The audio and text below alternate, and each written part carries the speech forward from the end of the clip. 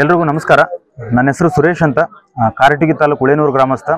ನಾನು ಬೆಂಗಳೂರಲ್ಲಿ ಒಂದು ಎಂ ಎನ್ ಸಿ ಕಂಪ್ನಿಯಲ್ಲಿ ಕೆಲಸ ಮಾಡ್ತೀನಿ ರೀ. ಇವಾಗ ವರ್ಕ್ ಫ್ರಮ್ ಹೋಮ್ ಇರೋದ್ರಿಂದ ಮನೇಲಿದ್ದೀನಿ ಕಳೆದ ಎರಡು ಮೂರು ವರ್ಷದಿಂದ ಸರ್ಕಾರ ಸುತ್ತಲಿನ ಕಲ್ಯಾಣ ಕರ್ನಾಟಕದ ಹಲವಾರು ಸರ್ಕಾರಿ ಶಾಲೆಗಳನ್ನ ಅಡ್ಡಾಡಿ ಅಲ್ಲಿ ಶಿಕ್ಷಣ ಮಟ್ಟ ಬಹಳ ಕಳಪೆ ಆಗಿದ್ರಿಂದ ಅವಾಗಿನ ಎಜುಕೇಶನ್ ಮಿನಿಸ್ಟ್ರಿಗೆ ಕಂಪ್ಲೇಂಟ್ ಕೊಟ್ಟಿದ್ದೀವಿ. ಅವ, ಆನಂತರ ಅವಾಗಿನ ಡಿ ಸಿ ಅವರಿಂದ ಇಲ್ಲೆಲ್ಲ ಸರ್ಕಾರಿ ಶಾಲೆಗಳಿಗೆ ನೋಟಿಸ್ ಕೊಡಿಸಿದ್ರು ಇಲ್ಲಿವರೆಗೂ ಯಾವುದೇ ಇಂಪ್ರೂವ್ಮೆಂಟ್ ಆಗಿಲ್ಲ. ಕಳೆದ ವರ್ಷ ಇಲ್ಲಿರೋ ಬಿ ಮತ್ತೆ ಪರ್ಸನಲ್ ಆಗಿ ವಿಸಿಟ್ ಮಾಡಿ, ಅವ್ರಿಗೆ ಕಂಪ್ಲೇಂಟ್ ಮಾಡಿ, ಇಲ್ಲೆಲ್ಲ ಸುತ್ತ ಸರ್ಕಾರಿ ಶಾಲೆಗಳಲ್ಲಿ ಶಿಕ್ಷಣ ಗುಣಮಟ್ಟ ಕಳಪೆ ಆಗೈತೆ ಅಂತ ಹೇಳಿದ್ರು ಯಾವುದೇ ಆಕ್ಷನ್ಗಳು ಶಾಲೆಗಳ ಮೇಲೆ ಆಗಿಲ್ಲ. ಶಾಲೆಗಳಲ್ಲಿ ಕಾಯಂ ಶಿಕ್ಷಕರು ಇದ್ದಿದ್ದೇ ಕಡಿಮೆ, ಅವ್ರು ಇದ್ದವ್ರನ್ನು ಕೂಡ ಕಳೆದ ತಿಂಗಳು ಅವ್ರವ್ರ ಊರುಗಳಿಗೆ ವಾಪಸ್ ಟ್ರಾನ್ಸ್ಫರ್ ಮಾಡಿದ್ದಾರೆ. ಟ್ರಾನ್ಸ್ಫರ್ ಮಾಡಿ ತಪ್ಪಲ್ಲ ಬಟ್ ಅವ್ರನ್ನ ಇಲ್ಲಿ ಹೊಸ ಶಿಕ್ಷಕರನ್ನ ನೇಮಕಾತಿ ಮಾಡಿ ಟ್ರಾನ್ಸ್ಫರ್ ಮಾಡಬೇಕಿತ್ತು. ನೇಮಕಾತಿ ಆಗ್ಲಾರ್ದೆ ಎಲ್ಲ ಶಿಕ್ಷಕರನ್ನ ಟ್ರಾನ್ಸ್ಫರ್ ಮಾಡಿದ್ದಾರೆ. ಈಗ ಒಂದೊಂದು ಶಾಲೆಯಲ್ಲಿ ಒಬ್ರು ಇಬ್ರು ಮೂರು ಜನ ಕಾಯಂ ಶಿಕ್ಷಕರು ಅಷ್ಟೇ ಉಳ್ಕೊಂಡಿದ್ದಾರೆ. ಉಳಿದಿದ್ದೆಲ್ಲ ಗೆಸ್ಟ್ ಟೀಚರ್ಸ್ನ ತಗೊಂಡು ಮ್ಯಾನೇಜ್ ಮಾಡ್ತಿದ್ದಾರೆ. ಸೊ ಅದು ನಮ್ಮ ಮೇನ್ ಉದ್ದೇಶ. ಇದನ್ನ ಪ್ರೊಟೆಸ್ಟ್ ಮಾಡೋದಕ್ಕೆ ಈ ಕಳಪೆ ಶಿಕ್ಷಣ ಗುಣಮಟ್ಟಕ್ಕೆ ಕಾರಣರಾದಂತ ಎಲ್ಲ ಈ ಮುಖ್ಯವಾದ ಅಧಿಕಾರಿಗಳ ಮೇಲೆ ಆಕ್ಷನ್ ಆಗ್ಬೇಕು. ಆನಂತರ ನಮ್ಮ ಕಲ್ಯಾಣ ಕರ್ನಾಟಕದ ಭಾಗದ ಸರ್ಕಾರಿ ಶಾಲೆಗಳಿಗೆ ಕಾಯಂ ಶಿಕ್ಷಕರ ನೇಮಕಾತಿ ಆಗಬೇಕು. ಆನಂತರ ಇನ್ನು ಮುಂದಿನ ತಿಂಗಳು ಕೌನ್ಸಿಲಿಂಗ್ ಮಾಡಿ ಇನ್ನಿಷ್ಟು ಶಿಕ್ಷಕರನ್ನ ವರ್ಗಾವಣೆ ಮಾಡೋ ಪ್ರಯತ್ನದಲ್ಲಿ ಸರ್ಕಾರ ಅದು ಇಮಿಡಿಯೇಟ್ ಸ್ಟಾಪ್ ಮಾಡಿ, ಇನ್ನು ಶಿಕ್ಷಕರ ನೇಮಕ ಆದ ನಂತರ ವರ್ಗಾವಣೆ ಮಾಡ್ಬೇಕಂತ ನಮ್ಮ ಬೇಡಿಕೆ. ಇದೆಲ್ಲ ನಾನು ಕಳೆದ ಎರಡು ಮೂರು ವರ್ಷದಿಂದ ಸುತ್ತಮುತ್ತಲಿನ ಸರ್ಕಾರಿ ಶಾಲೆಗಳಲ್ಲಿ ಮಕ್ಕಳನ್ನ ಟೆಸ್ಟ್ ತಗೊಂಡು ಕಲೆಕ್ಟ್ ಮಾಡಿರೋ ಡೇಟಾ ರೀ. ಒಂಬತ್ತನೇ ಕ್ಲಾಸ್ ಮಕ್ಕಳಿಗೆ ಎರಡನೇ ಕ್ಲಾಸ್ ಮಕ್ಕಳು ಪ್ರೈವೇಟ್ ಶಾಲೆಯಲ್ಲಿ ಬರೆಯುವಂಥ ಸ್ಪೆಲ್ಲಿಂಗ್ಸ್ ಬರಂಗಿಲ್ಲ. ಸರ್ಕಾರಿ ಶಾಲೆಗಳಲ್ಲಿ ಎಷ್ಟು ಕಾಂಪಿಟೇಟಿವ್ ವರ್ಡ್ ಐತೆ. ಹೊರಗಡೆ ತೊಂಬತ್ತು ಪರ್ಸೆಂಟೇಜ್ ಆದ್ರೂ ಮಕ್ಕಳಿಗೆ ಜಾಬ್ ಸಿಗಕತ್ತಿಲ್ಲ. ಒಂದೊಂದು ಇಂಗ್ಲೀಷ್ ವರ್ಡ್ ರಚನೆ ಮಾಡಕ್ ಬರ್ತಿಲ್ಲ ಸರ್ಕಾರಿ ಶಾಲೆ ಮಕ್ಕಳಿಗೆ. ಅದಕ್ಕೋಸ್ಕರ ಈ ರೆಸ್ಪಾನ್ಸಿಬಲ್ ಆಗಿರೋ ಎಲ್ಲ ಅಧಿಕಾರಿಗಳ ಮೇಲೆ ಆಕ್ಷನ್ ಆಗ್ಬೇಕು. ಆನಂತರ ಮೊನ್ನೆ S S L C result ನೋಡಿದ್ರೆ ಕೊಪ್ಪಳ ಜಿಲ್ಲೆ ಮೂವತ್ತೆರಡನೇ ಸ್ಥಾನಕ್ಕೆ ಐತ್ರಿ ಆ ಮೂವತ್ತೆರಡನೇ ಸ್ಥಾನಕ್ಕಿದ್ರೆ ಪ್ರೈವೇಟ್ ಶಾಲೆಯಲ್ಲಿ ಎಂಬತ್ತೆರಡು ಎಂಬತ್ತೆರಡು ಪರ್ಸೆಂಟ್ ವಿದ್ಯಾರ್ಥಿಗಳು ಪಾಸ್ ಆದ್ರೆ ಸರ್ಕಾರಿ ಶಾಲೆಯಲ್ಲಿ ಬರೀ ಐವತ್ತೇಳು ಪರ್ಸೆಂಟ್ ವಿದ್ಯಾರ್ಥಿಗಳು ಪಾಸ್ ಆಗಿದ್ರು ಇದೇ ಕ್ಲಿಯರ್ ಆಗಿ ತೋರಿಸುತ್ತಾ ಸರ್ಕಾರಿ ಶಾಲೆಗಳ ಮಟ್ಟ ಎಷ್ಟು ನೆಗ್ಲಿಜೆನ್ಸಿ ಐತಿ ಇಲ್ಲ ಅಂತಂದ ಹೇಳಿ ಒಬ್ಬೊಬ್ಬ ಶಿಕ್ಷಕರು ನಲವತ್ತೈವತ್ತು ಸಾವಿರ ರೂಪಾಯಿ ಪಗಾರ ತಗೊಂಡವರು ಯಾಕೆ ರೆಸ್ಪಾನ್ಸಿಬಲ್ ಇಲ್ಲ? ಅವ್ರಿಗೆ ಅಕೌಂಟಬಿಲಿಟಿ ಬರಲಿ.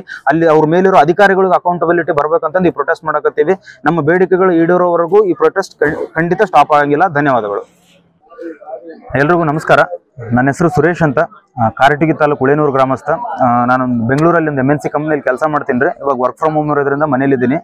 ಕಳೆದ ಎರಡು ಮೂರು ವರ್ಷದಿಂದ ಸರ್ಕಾರ ಸುತ್ತಲಿನ ಕಲ್ಯಾಣ ಕರ್ನಾಟಕದ ಹಲವಾರು ಸರ್ಕಾರಿ ಶಾಲೆಗಳನ್ನ ಅಡ್ಡಾಡಿ ಅಲ್ಲಿ ಶಿಕ್ಷಣ ಮಟ್ಟ ಬಹಳ ಕಳಪೆ ಆಗಿದ್ರಿಂದ ಅವಾಗಿನ ಎಜುಕೇಶನ್ ಮಿನಿಸ್ಟ್ರಿಗೆ ಕಂಪ್ಲೇಂಟ್ ಕೊಟ್ಟಿದ್ದೀವಿ. ಅವ, ಆನಂತರ ಅವಾಗಿನ ಡಿ ಸಿ ಅವರಿಂದ ಇಲ್ಲೆಲ್ಲ ಸರ್ಕಾರಿ ಶಾಲೆಗಳಿಗೆ ನೋಟಿಸ್ ಕೊಡಿಸಿದ್ರು ಇಲ್ಲಿವರೆಗೂ ಯಾವುದೇ ಇಂಪ್ರೂವ್ಮೆಂಟ್ ಆಗಿಲ್ಲ. ಕಳೆದ ವರ್ಷ ಇಲ್ಲಿರೋ ಬಿ ಮತ್ತೆ ಪರ್ಸನಲ್ ಆಗಿ ವಿಸಿಟ್ ಮಾಡಿ, ಅವ್ರಿಗೆ ಕಂಪ್ಲೇಂಟ್ ಮಾಡಿ, ಇಲ್ಲೆಲ್ಲ ಸುತ್ತ ಸರ್ಕಾರಿ ಶಾಲೆಗಳಲ್ಲಿ ಶಿಕ್ಷಣ ಗುಣಮಟ್ಟ ಕಳಪೆ ಆಗೈತೆ ಅಂತ ಹೇಳಿದ್ರು ಯಾವುದೇ ಆಕ್ಷನ್ಗಳು ಶಾಲೆಗಳ ಮೇಲೆ ಆಗಿಲ್ಲ. ಶಾಲೆಗಳಲ್ಲಿ ಕಾಯಂ ಶಿಕ್ಷಕರು ಇದ್ದಿದ್ದೇ ಕಡಿಮೆ, ಅವ್ರು ಇದ್ದವ್ರನ್ನು ಕೂಡ ಕಳೆದ ತಿಂಗಳು ಅವ್ರವ್ರ ಊರುಗಳಿಗೆ ವಾಪಸ್ ಟ್ರಾನ್ಸ್ಫರ್ ಮಾಡಿದ್ದಾರೆ.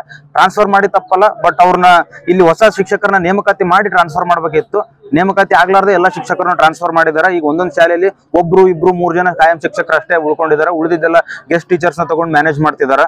ಸೊ ಅದು ನಮ್ಮ ಮೇನ್ ಉದ್ದೇಶ. ಇದನ್ನ ಪ್ರೊಟೆಸ್ಟ್ ಮಾಡೋದಕ್ಕೆ ಈ ಕಳಪೆ ಶಿಕ್ಷಣ ಗುಣಮಟ್ಟಕ್ಕೆ ಕಾರಣರಾದಂತ ಎಲ್ಲ ಈ ಮುಖ್ಯವಾದ ಅಧಿಕಾರಿಗಳ ಮೇಲೆ ಆಕ್ಷನ್ ಆಗ್ಬೇಕು. ಆನಂತರ ನಮ್ಮ ಕಲ್ಯಾಣ ಕರ್ನಾಟಕದ ಭಾಗದ ಸರ್ಕಾರಿ ಶಾಲೆಗಳಿಗೆ ಕಾಯಂ ಶಿಕ್ಷಕರ ನೇಮಕಾತಿ ಆಗಬೇಕು. ಆನಂತರ ಇನ್ನು ಮುಂದಿನ ತಿಂಗಳು ಕೌನ್ಸಿಲಿಂಗ್ ಮಾಡಿ ಇನ್ನಿಷ್ಟು ಶಿಕ್ಷಕರನ್ನ ವರ್ಗಾವಣೆ ಮಾಡೋ ಪ್ರಯತ್ನದಲ್ಲಿ ಸರ್ಕಾರ ಅದು ಇಮಿಡಿಯೇಟ್ ಸ್ಟಾಪ್ ಮಾಡಿ, ಇನ್ನು ಶಿಕ್ಷಕರ ನೇಮಕ ಆದ ನಂತರ ವರ್ಗಾವಣೆ ಮಾಡ್ಬೇಕಂತ ನಮ್ಮ ಬೇಡಿಕೆ.